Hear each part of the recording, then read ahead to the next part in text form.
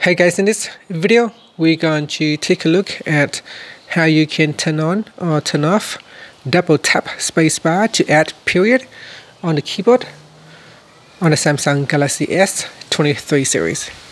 First tap on the home button to go back to the home screen. And from the home screen, swipe down at the top. Then tap on the settings icon.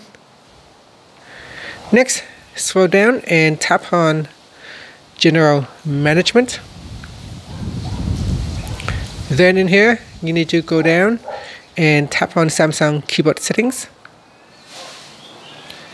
Next, scroll down and tap on more typing options. Then we go down and tap on double tap spacebar to add period. So tap on the toggle button to switch it off or turn it on. And that's it. Finally, you can tap on the back key to go back to the settings page or tap on the home button to go back to the home screen. Thank you for watching this video. Please subscribe to my channel for more videos.